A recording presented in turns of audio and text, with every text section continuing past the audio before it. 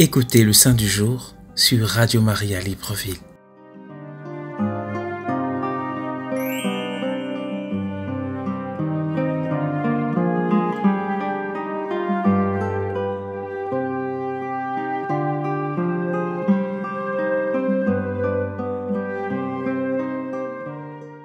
Shalom, frères et sœurs, auditeurs et auditrices de Radio Maria.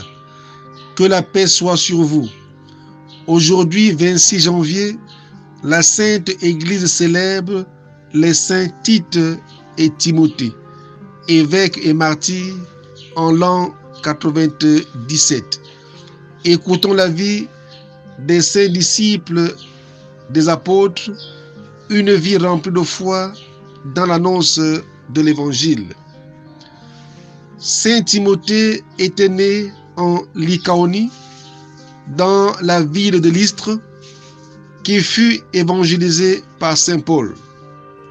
Le passage du grand apôtre fut la cause de la conversion de Timothée et de sa famille. Plus tard, quand Paul revint à Lystre, il remarqua Timothée et résolut de l'associer dans l'apostolat malgré sa jeunesse.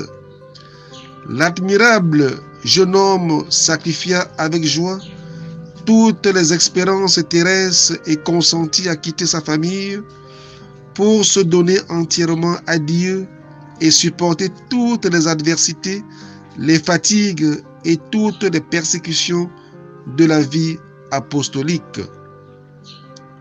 Dès lors, on peut voir Timothée partout à côté de Saint Paul et la confiance de l'un répond le dévouement de l'autre. Après la mort de Saint Paul, Timothée, qui avait été préposé par son maître à l'église d'Éphèse, eut la consolation d'y vivre en l'amitié et la présence du disciple bien-aimé de Jésus, l'apôtre Saint Jean. Un jour que les Éphésiens célébraient par des orgies une des fêtes de leur déesse Diane, le saint évêque d'Éphèse, indigné, se jette au milieu de ce peuple insensé, lui représente la folie de sa conduite et l'invite à se convertir au christianisme. Mais il est entouré par des furieux, accablé de coups de pierre et de massues et laissé pour mort. Ses disciples le relèvent et le transportent dans le voisinage où il expire bientôt dans les bras et rejoint dans la gloire son maître Saint Paul. L'Église honore en lui l'un des plus célèbres et des plus saints disciples des apôtres. Quant à la vie de Tite, Tite est de famille grecque, encore païenne, et il est converti par Paul au cours d'un de ses voyages apostoliques pour ensuite devenir son collaborateur, son compagnon et frère dans l'apostolat. L'apôtre des gentils l'emmène avec lui à Jérusalem pour ce qui est appelé concile apostolique, justement au moment crucial de la controverse à propos du baptême des païens. L'apôtre s'oppose fermement à la circoncision du chrétien d'Antioche et Tite devint ainsi le symbole vivant de la valeur universelle du christianisme sans distinction ni de nationalité, race et culture. Après le départ de Timothée de Corinthe, Paul envoie Tite avec la charge de ramener cette communauté indocile à l'obéissance et il réussit à restaurer la paix entre l'église de Corinthe et l'apôtre. À Corinthe, Tite est encore recommandé par Paul qui le qualifie de mon compagnon et collaborateur pour y organiser la conclusion des collectes en faveur des chrétiens de Jérusalem. D'ultérieures informations en provenance des lettres pastorales le qualifient comme évêque de Crète. Deux fidèles serviteurs de l'Évangile, Paul circoncis, le disciple Timothée, et ne circoncis pas Tite, qu'il emmène tout de même avec lui à Jérusalem devant le concile des apôtres.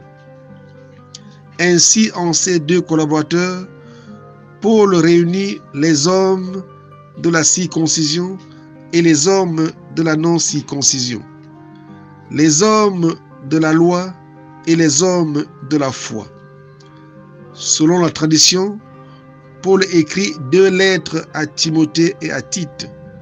Ce sont les seules lettres du Nouveau Testament adressées non pas à des communautés, mais à des individus.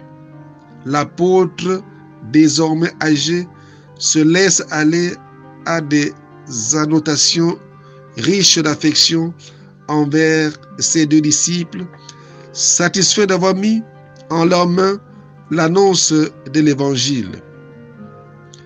Selon Benoît XVI, Timothée et Tite nous enseignent à servir l'Évangile avec générosité en sachant que cela est aussi un service de l'Église. À tous ceux qui portent les prénoms de Tite et Timothée, nous vous souhaitons une très belle fête patronale.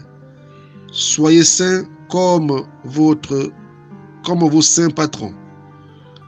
Que la bénédiction de Dieu descende sur nous au nom du Père et du Fils et du Saint-Esprit. Amen. À demain pour le Saint du jour.